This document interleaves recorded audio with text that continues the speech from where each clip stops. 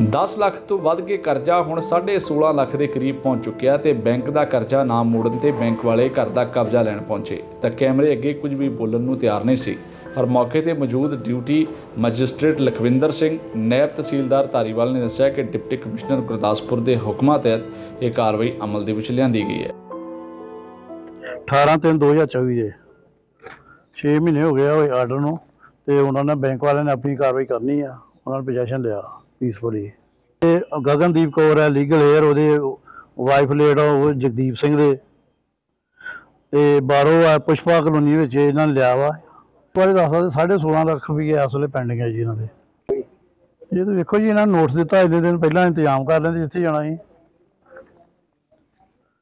ਇਹ ਪ੍ਰੋਪਰ ਕਾਰਵਾਈ ਹੋਣ ਤੇ ਬਾਵਜੂਦ 6 ਮਹੀਨੇ ਹੋ ਗਏ ਆ, ਤੇ 6 ਮਹੀਨਾ ਦਾ ਟਾਈਮ ਇਹਨਾਂ ਕੋਲ ਹੈਗਾ ਹੀ ਬੈਂਕ ਨਾਲ ਸੈਟਲਮੈਂਟ ਕਰ ਲੈਂਦੇ, ਪੈਸੇ ਦੇ ਦਿੰਦੇ, ਤੇ ਇਹਨਾਂ ਦੀ ਐਡਜਸਟਮੈਂਟ ਹੋ ਜਾਣੀ ਸੀ। ਬੈਂਕ ਵਾਲਿਆਂ ਨੇ ਨੋਟਿਸ ਤੋਂ 6 ਮਹੀਨੇ ਬਾਅਦ ਘਰ ਦਾ ਕਬਜ਼ਾ ਲੈਣ ਦੀ ਪ੍ਰਕਿਰਿਆ ਅਮਲ ਦੇ ਵਿੱਚ ਲਿਆਂਦੀ ਹੈ। ਹਾਲਾਂਕਿ ਕਮਾਈ ਦਾ ਸਾਧਨ ਤੇ ਸਾਰੀ ਜ਼ਿੰਮੇਵਾਰੀ ਆਪਣੇ ਮੋਢਿਆਂ ਤੇ ਹੋਣ ਕਰਕੇ ਸ਼ਾਇਦ ਗਗਨਦੀਪ ਕੌਰ ਕੁਝ ਹੀਲਾ ਵਸੀਲਾ ਨਹੀਂ ਕਰ ਸਕੀ।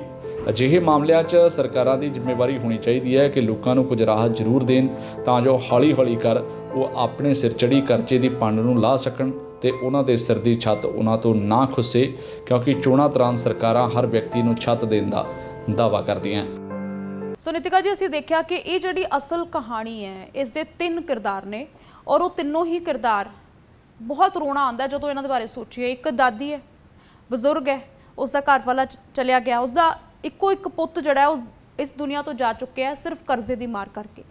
ਉਹ ਔਰਤ ਗਗਨਦੀਪ ਕੌਰ, ਜਿਨ੍ਹਾਂ ਦੇ ਸਿਰ ਦਾ ਸਾਈਂ ਜਾ ਚੁੱਕਿਆ ਔਰ ਹੁਣ ਛੱਤ ਵੀ ਜਾ ਚੁੱਕੀ ਹੈ। ਔਰ ਇੱਕ ਜਦ 9 ਸਾਲ ਦੇ ਬੱਚੇ ਦੇ ਬਾਰੇ ਅਸੀਂ ਸੋਚਦੇ ਹਾਂ, ਤਾਂ ਲੂ ਕੰਡੇ ਖੜੇ ਹੁੰਦੇ ਨੇ ਕਿ ਉਹ ਬੱਚਾ ਜਿਹੜਾ ਇੰਨੀ ਛੋਟੀ ਉਮਰੇ ਇਹ ਦੇਖ ਰਿਹਾ ਕਿ ਮੇਰੀ ਛੱਤ ਤੇ ਜਾ ਚੁੱਕੀ ਹੈ।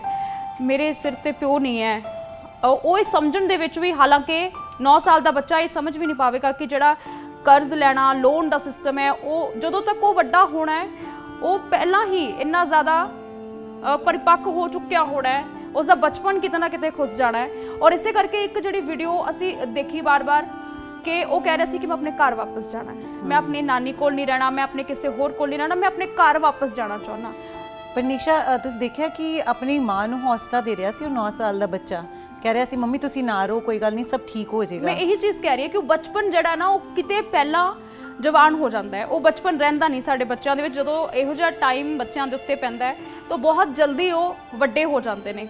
ਉਹਨਾਂ ਦਾ ਬਚਪਨ ਜਿਹੜਾ ਜ਼ਿੱਦਾਂ ਕਰਨੀਆਂ ਜਾਂ ਮਾਪਿਆਂ ਦੇ ਨਾਲ ਲਾੜ ਮਲਾਰ ਦੇ ਲਈ ਕਹਿਣਾ, ਉਹ ਸ਼ਾਇਦ ਉਹ ਦੁਬਾਰਾ ਨਹੀਂ ਕਹਿ ਪਾਵੇਗਾ। ਇਹ ਸਾਰਾ ਦੇਖਣ ਤੋਂ ਬਾਅਦ ਕਿ ਕਿਵੇਂ ਅਫਸਰ ਜਿਹੜੇ ਨੇ ਘਰ ਦੇ ਅੰਦਰ ਦਾਖਲ ਹੋਏ ਨੇ, ਪਰਿਵਾਰ ਨੂੰ ਬਾਹਰ ਕੱਢ ਦਿੱਤਾ ਗਿਆ। ਕਿੰਨੀ ਨਮੋਸ਼ੀ ਉਸ ਬੱਚੇ ਦੇ ਲਈ। ਉਹ 9 ਸਾਲਾਂ ਦਾ ਬੱਚਾ ਉਸ ਦਾ ਇਸ ਵੇਲੇ ਮੈਂਟਲ ਲੈਵਲ ਕੀ ਕਹਿ ਰਿਹਾ ਹੋਵੇਗਾ ਉਸ ਦੀ ਮਾਨਸਿਕ ਸਥਿਤੀ ਕੀ ਹੋਵੇਗੀ, ਜਦੋਂ ਸਕੂਲ ਦੇ ਵਿੱਚ ਉਸ ਨੂੰ ਸਵਾਲ ਕੀਤੇ ਜਾਣਗੇ, ਕਿਉਂਕਿ ਇਹ ਵੀਡੀਓ ਜਿਹੜਾ ਉਹ ਬਹੁਤ ਸਾਰੇ ਲੋਕ ਦੇਖ ਚੁੱਕੇ ਨੇ।